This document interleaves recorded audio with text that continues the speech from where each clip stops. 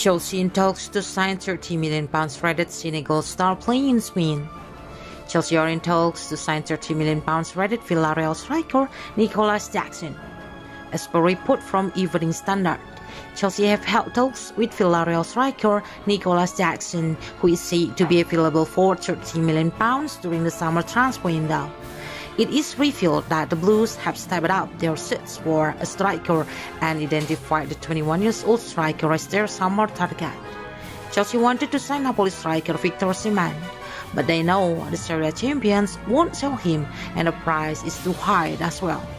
Atalanta's Rasmus Højlund and Juventus Dusan Vlahovic were deemed as backup option, but both of them will cost upward of 65 million pounds. Coming back to Jackson, he has been at Villarreal since 2019, initially as a young player.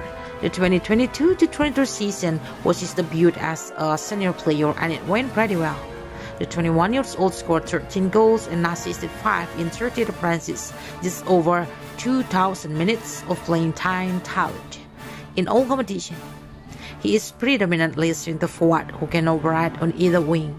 Chelsea have given up on signing Victor Osimhen. The Senegal international is good at finishing, dribbling, and creating chains. He has good pace to trouble defenders with runs in behind as well with Chelsea not in Europe next season.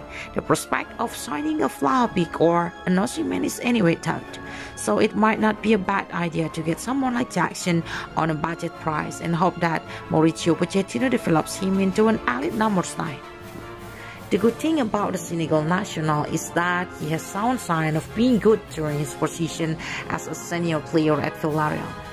Can he build on that if Chelsea sign him in the coming days? We can hope so and bank on Pochettino to do the good work.